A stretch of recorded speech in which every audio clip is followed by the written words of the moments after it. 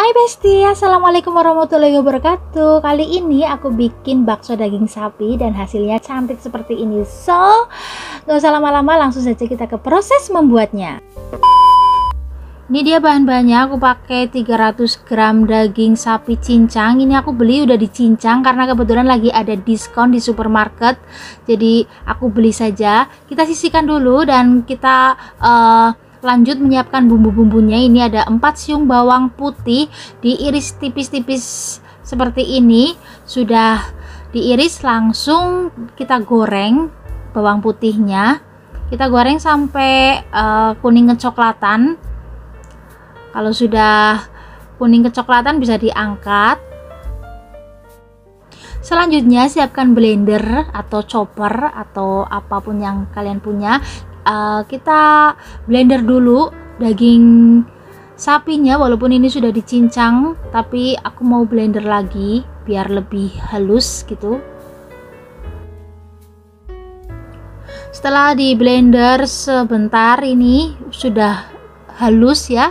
Lalu uh, kita tambahkan 50 gram es batu setelah masuk semua es batunya langsung si saja kita hidupkan blendernya atau choppernya. Dan fungsi dari es batu ini adalah untuk mengenyalkan baksonya. Selanjutnya masukkan bawang putih yang tadi sudah digoreng. Lalu ini udah saya haluskan. Lalu masukkan setengah sendok makan garam. Satu sendok makan kaldu bubuk dan ini seperempat sendok makan baking powder. Lalu kita uh, campur semua dengan cara menyalakan chopper atau blendernya ini. Setelah tercampur rata ini kita buka. Dan selanjutnya kita tambahkan 5 sendok makan tepung tapioka giling lagi atau uh, hidupkan lagi blendernya. Ini kita blender uh, step by step ya karena uh, choppernya kecil jadi nggak muat kalau kita semuanya takut nggak rata. Selanjutnya ini kita tambahkan merica bubuk kurang lebih ada satu sendok makan ini teman-teman. Hidupkan lagi choppernya atau blendernya biar semuanya tercampur rata.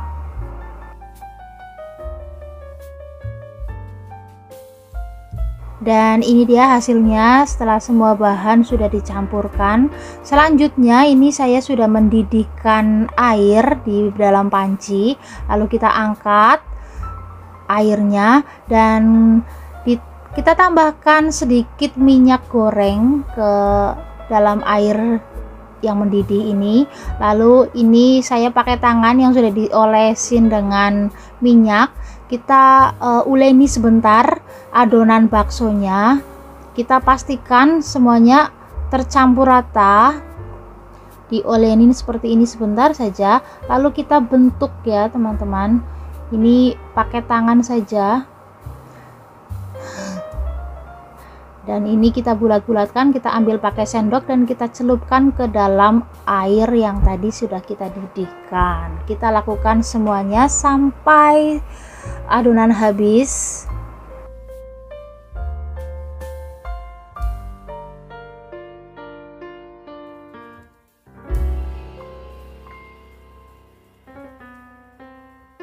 Dan sudah selesai ini membentuk baksonya lalu kita didihkan baksonya ini. Kita tunggu sampai semuanya ini baksonya mengapung.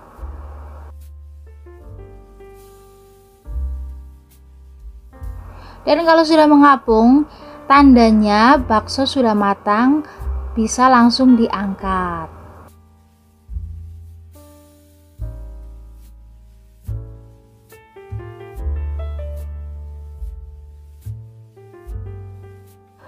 dan selanjutnya setelah baksonya sudah diangkat lalu kita rendam baksonya menggunakan air es selama kurang lebih 15 menit. Dan setelah 15 menit proses perendaman baksonya kita tiriskan ya teman-teman biar kadar airnya berkurang dan alhamdulillah setelah melalui beberapa proses akhirnya baksonya sudah selesai dan siap kita olah lagi menjadi bakso kuah atau bakso goreng atau bakso mercon atau disimpan saja di kulkas menjadi frozen food juga bisa. Dan ini dia teksturnya kenyal aromanya wangi banget enak banget. So buat kalian thank you so much yang sudah nonton videoku. Mohon dukungannya ya guys teman-teman semuanya dengan cara like comment dan subscribe nya kalian juga bisa share video ini bila uh, dirasa bermanfaat. So wassalamualaikum warahmatullahi wabarakatuh. See you on my next video. Bye bye